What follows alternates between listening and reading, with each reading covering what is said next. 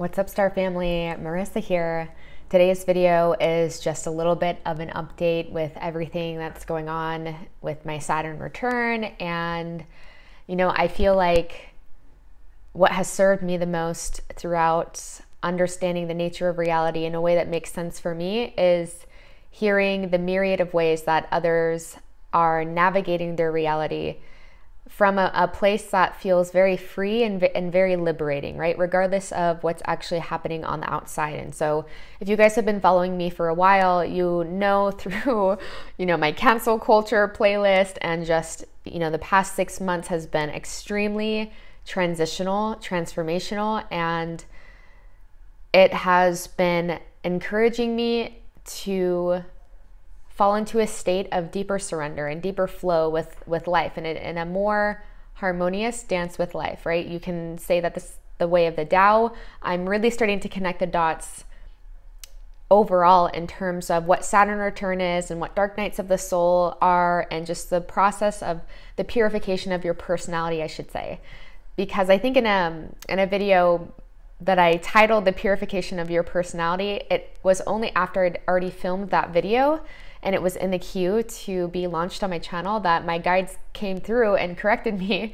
they came to correct and they said, you know, it's not necessarily your soul that is being purified. Your soul is pure, but it's the personality. And it's, you know, it's kind of like the personality is kind of like if you think of a valve, right? And your soul is wanting to come through like water coming through a pipe. And if your personality, all the flaws and all the the ways that you protect yourself and the ways that you kind of cut off that natural flow, you can think of that like debris, right? Like gathering debris within this pipe. And so the more that you clear through the process of purification and unearthing your soul, the more that your soul can shine through whatever template and whatever blueprint is most in alignment for your soul and your personality, I should say, this time around. And so I'm really seeing how all of life really is trying to usher us in that direction of a more surrendered state, right? And so that ushering sometimes feels like a push and a shove when we maybe feel like we're not exactly ready for it. But the more that you can trust, the more that you can enjoy it, and then the more smoothly things tend to go overall, regardless if you're in a, um, a pocket of everything's falling apart in your life or or what have you. You can really enjoy it. So I wanted to just give you guys an update about what I've learned so far moving back in with my co parent. I like joking around and saying things like my baby's daddy and everything just because I'm I tend to be a very jokey, kind of lighthearted person in general. But co-parent, there's something about like co-parent feels very mature. And I mean that really feels very reflective and it, it feels like it represents our dynamic very well because you know it's not until i really talk to other people about mine and greg that's maya's dad it's not until i really talk to other people about our dynamic that i see how unique it really is.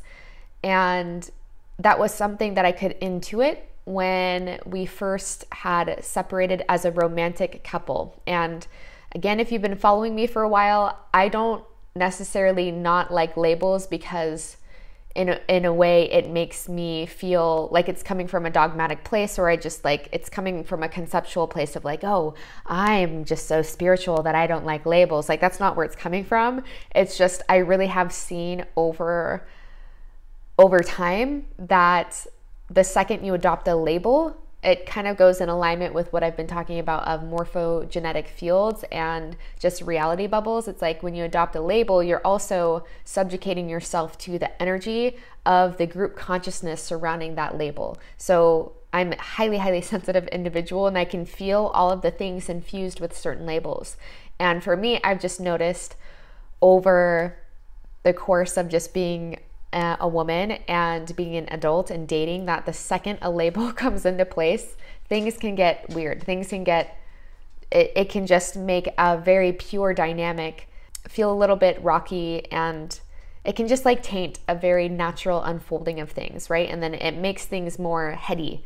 At least that's just what I've experienced rather than allowing things to just like be as they are. You know, when I first separated and when I first moved out was about was three years ago. It's almost three years ago, uh, almost exactly. I could feel inherently within that that my decision to do that to to move out and break the the family core would you know I could feel that it was going to benefit everyone long term holistically even though in the midst of doing that it felt like some people probably felt very hurt and I think I just understood I know I just understood that I would rather my child be between homes that are less charged uh, because there was a lot of anger between, you know, within, you know, Maya's dad as an individual, with me as an individual. And we were both like, we had gone through some pretty intense awakenings together.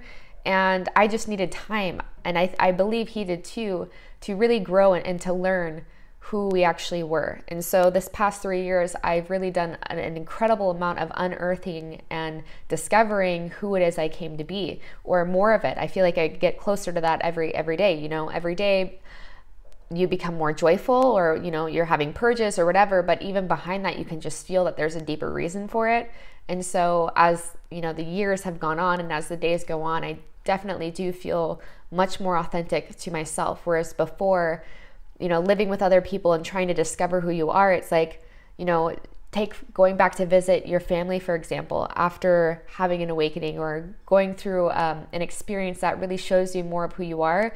It's like when you go around people that think they know who you are, they're they're holding you in a vibrational in a vibrational pattern almost. And this is an innocent thing, but they almost keep you within a certain realm based off of who they thought you were from past versions of self. And so it's not like I'm, I'm just really seeing during this time, especially moving back in and just, you know, we're living in separate rooms and we're all roommates right now. But I am seeing how, like, a lot of us don't go into relationships with people that we've known with a blank slate. Like, we're consistently carrying our past ideas of who we think someone is into this current dynamic. And so, you know, I understand just how long I've done this before, whoops, and how long I've been paying attention that, you know, the things that we tend to resist the most are also inherently the things that hold the key to our liberation. And so, you know, the transitional period, like, even though Greg and I were spending more time together as a family and, you know, uh, completely platonic, but just truly enjoying our daughter, truly enjoying this beautiful being that Maya is. And, I will say that when I first came back in, I was noticing that, you know, the, it got really heavy at first. And I think a big part of that was allowing expectations on both sides to, to die away. So, allowing expectations of what the dynamic meant or what this new living arrangement meant. And I'm very sensitive, so I can really tune into when someone has expectations that they're not expressing but they're holding them. And when I can feel those expectations are infringing on what feels actually in alignment for me, that is when I can start to kind of pull my energy away and like I don't want to feed that. And even though I've had conversations before, like I can have conversations with people before. I'm sure you guys have have seen this happen time and time again. Like you can't control how you feel right when there's feelings involved with with towards someone else it's like you don't know exactly why those feelings are there right and there might be you know two different reasons for that soul contract being there it might not be as congruent as one might think. So, for some person, or for one person in a dynamic, it might be that there's feelings for someone, right? And they're expecting it to go somewhere. And through those expectations not being met, they're then given a permission slip to not make it mean anything about them, to not call it a rejection, to not call it something that it really is not, because we're not controlling it from this level, right? The level of the personality does not control why we like someone, why we have feelings towards someone, etc. And so for the other person in dynamic, say they're the one that's uh, that is being liked, but doesn't also feel those reciprocated um, feelings on a romantic level, is what I'm conveying here. Then you know, the lesson in there might just be setting clear boundaries and knowing how to knowing how to carry yourself in, in such a way that is not allowing them to feed any illusion, but also having a compassionate heart right? And so that's just kind of like everything that i've been learning. And so there was like kind of a like the first week that i moved back in it was kind of heavy for both of us. I mean also being eclipse season greg and i are both virgos his birthday's two days before me. So mercury retrograde really really affects us and communication has already been a big a major learning lesson for both of us within this dynamic and especially you know as as being co-parents. So there was a little bit of like heaviness and like awkward energy at first but now it feels like we've kind of settled into something that feels more authentic for our dynamic which again it's interesting because i'm like oh a lot of like my male friends kind of stop i don't know there were a couple like male friends that stopped talking to me and that can be for its own reason but in, intuitively i'm like oh i moved back in with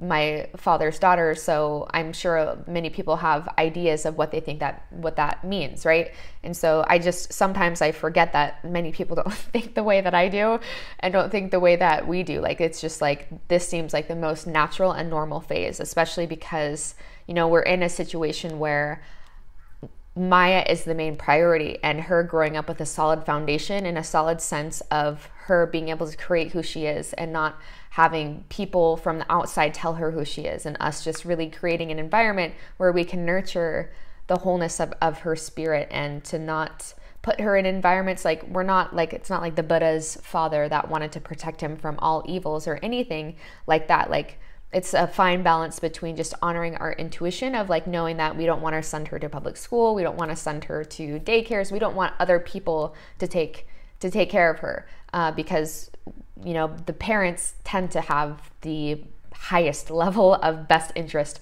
for the child. You know, again, I work in generalization, so this is not always across the board, but just from what I have, uh, what I have found and what feels truthful to me at this point in time.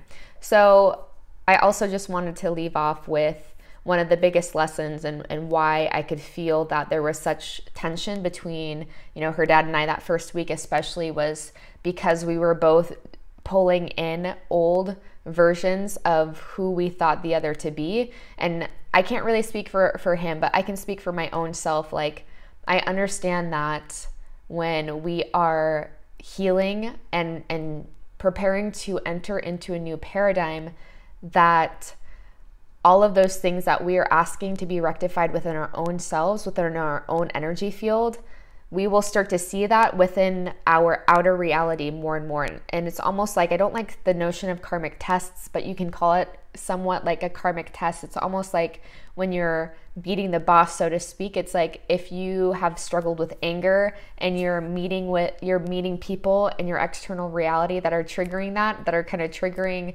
like know how to poke your buttons or that are also i don't want to say inability to process their anger but you can just tell that things annoy them and set them off etc during this time uh, too like how planets are and everything is going to affect this and i just think what's happening on a world level there's just a lot of hostility in the air but this is just like the best example i have right now and it's also very relevant for my own dynamic.